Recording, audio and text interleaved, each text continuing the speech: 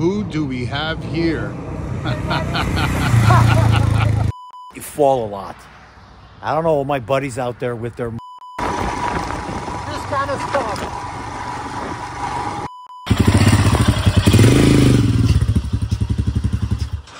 Hey guys, welcome back. I'm here in Goshen, New York, right in front of BMG Power Sports, and today's a big day. Today is a very big day. Today, I'm gonna have a new hog joining the family, a new hog in my garage. Now, let me give you a little background to what's going on. As you remember, with the Sportster, initially when I got the Sportster, we're gonna build it up to do the BDR ride. So, if you've been following me for a while now, you also know that I changed my mind and I realized that I can't really be doing the BDR on the on the Scrambler Sportster. I don't know to, to any one of you doesn't know what the BDR uh, BDR is. Uh, BDR is the back roads, dirt roads, which is pretty much so much noise. Pretty much uh, back roads, back roads through the country, going from New York pretty much all the way up to Canada. We're going to be uh, traveling, springtime, we're going to be traveling 1,800 miles one way from New York all the way up to all the way up to Canada. To be really, really awesome. The whole crew is all gathered up and ready for it. Everybody bought themselves expensive bikes. We have two BMW GSs. We have a Triumph 900, a Tiger, and a lot, a lot of proper expensive ADVs. So my initial plan was to do the BDR on the Sportster, uh, the, B, the the modified Sportster. As you know, changed that plan, and we're gonna get the ST instead. But I am gonna be on that BDR trip with everybody else. And then I got a brilliant idea. Let me see if I can do the BDR on a $4,000 bike. Yeah, guys. Can a $4,000 bike do the BDR just as good as a $25,000 ADV? So today, I'm introducing a new hog into my garage the Warthog. Yup, take a look.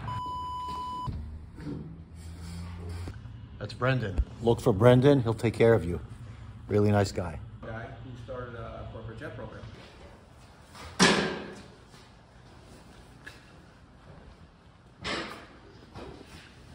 And where's the bike? All the way in the back. All the way in the back.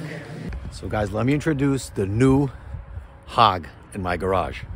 Welcome the Royal Enfield 2021 Himalayan, the Himalayan, the Warthog. For those of you that it's new, this whole bike, Royal Enfield is number one selling bike in India. India, a population of 1.4 billion people living in India. This is the number one seller, the Royal Enfield. Royal Enfield is a company, if I'm not mistaken, established even before Harley Davidson or uh, pretty much whereas uh, the same time and it's been selling for the whole time. Originally a british company moved their operations to india currently it's in india and it's the number one selling in india. This is the bike that's going to be doing the bdr will this $4000 bike do it just as uh, well just as good as the $25000 advs that my buddies are having? It's a 411 single single cylinder ADV. This thing is a tractor. It's a tractor. The exact uh, horsepower is uh, I'll put it up here. I think it's around 25 horsepower, but the torque on it, the low end torque on it, is extremely extremely powerful, rugged. But the engine, this engine is bulletproof. This pretty much you can take apart this whole engine with one screwdriver. 25 years ago, uh, my wife and I traveled India for six months on a Royal Enfield. Obviously, it wasn't the Himal- Himalayan, the Himalayan, because this is a five-year-old model only. We uh, traveled on, a, I think it was a 500 or 350 model, and that was that was bulletproof. We rode it for six months, close to uh, I think 15,000 kilometers all over India, and it was it was amazing. This brings back a lot of memories to me. So besides of being such a rugged and good and well-built motorcycle, this brings a lot of nostalgia to it. A lot, a lot of good memories. So let me do a little walk around the, the bike and we're to drive it back. We're to ride it back uh, to New Jersey. I'm in Goshen, New York, which is about an hour away. I got all my heated gear because it's pretty cool here today. So they got my heated gear ready for me. And we'll take it, uh, we'll ride it back home. So tell you one thing about ADVs and uh, off-road biking. It's fun.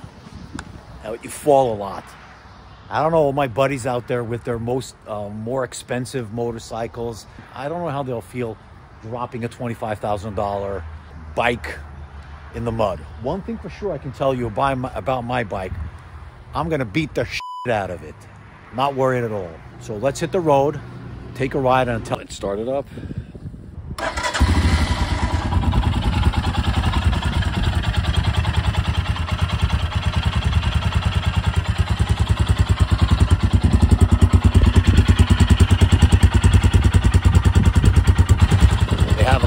choke, although it's uh, electro, uh, EFI, electronic fuel injection, they have like a choke over here for cold temperatures.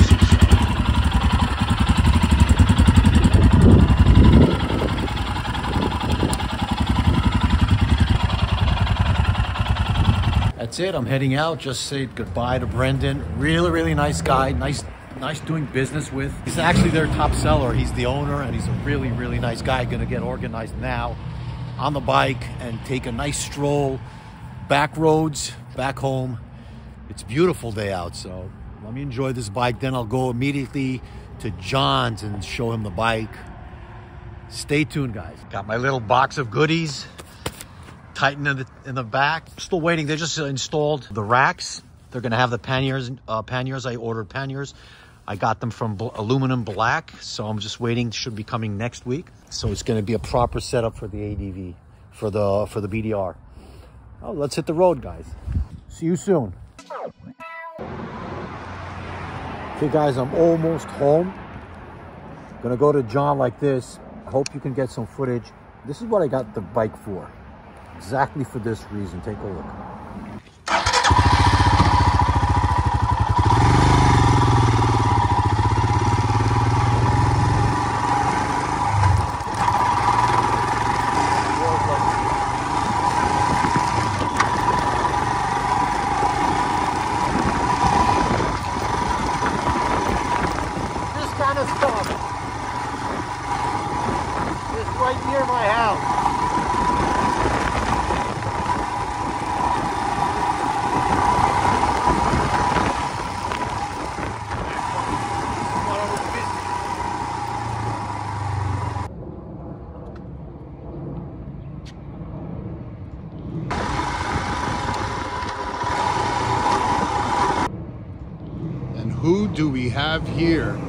so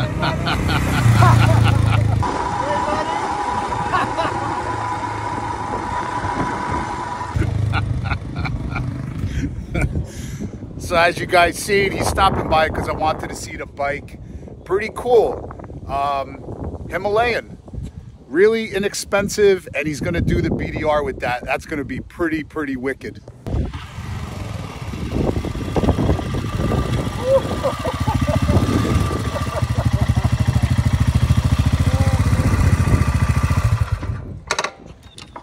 fun little bike. Very cool. Very cool. Very fun little bike. Yeah, let me tell you. Let me go get my helmet. Yeah, come on. All right, let's take this puppy for a spin here. Get, getting getting first dibs. We're gonna, we're gonna take this warthog, Uh, yeah. all 24 horsepower. I think uh, I think my lawnmower's got more horsepower than this thing. not too far. Not too far. Try it out. It's fun. It's a fun little little toy. Let's put it that. Really fun. Yeah. Like the camouflage action going on over here. Yeah. Look at that. Let me see this. How you start this thing up? Oh well, you got a key. It's no fob, dude. Oh. Four thousand dollar bike. You expect a fob? It's nice. I like it.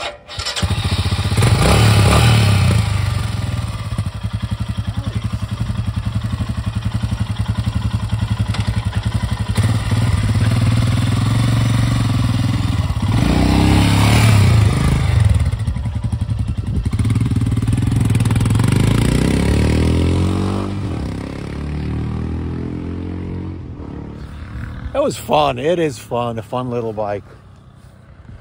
It does, you know, it does what it's supposed to do. It's not pretentious. It's not, oh, look at me. I'm a, I'm a GS wannabe. I'm nah, dude. It's a four or five thousand dollar bike that puts a smile on your face, takes you where you want to go, and does it reliably and with a lot of fun.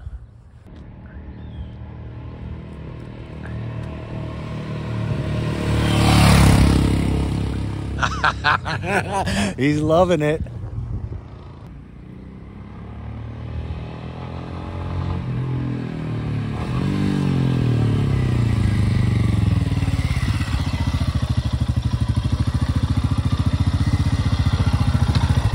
What say you? Sweet little thing, huh?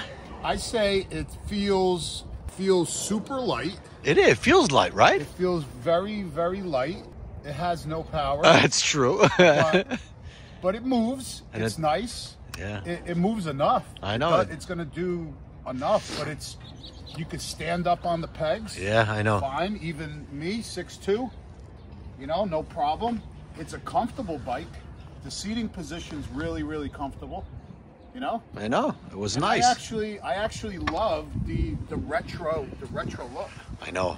Look, the ruggedness, the the the Really nice. the raw Yeah, uh, no, but it's ugliness. it's it's not. the, the ugliness is, is pretty ugliness. nah. I don't think it's. I, I actually think I don't think it's ugly. I Nah, think you know, it's it's it's it's- nice. It's. I think it's a nice looking bike to tell you the truth. yeah. Pretty cool. I know. Good luck with it. Thank you, man. Yeah, but it's really, really maneuverable. There's Silverback, and there's Warthog. And I'm gonna be heading back home, guys. Drive it, uh, ride the bike back home, clean it up a little bit. Hope you enjoyed this one, guys. I'm Sandy, watching Holy Shift. Till the next video. Peace out.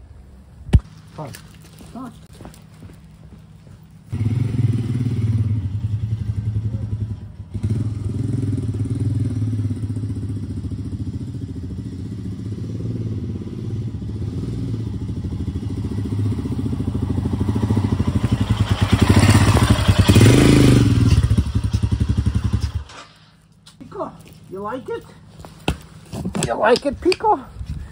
You like it? Yeah? You think it's cool?